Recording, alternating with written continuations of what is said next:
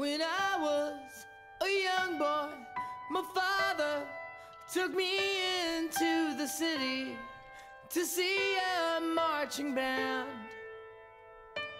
He said, Son, when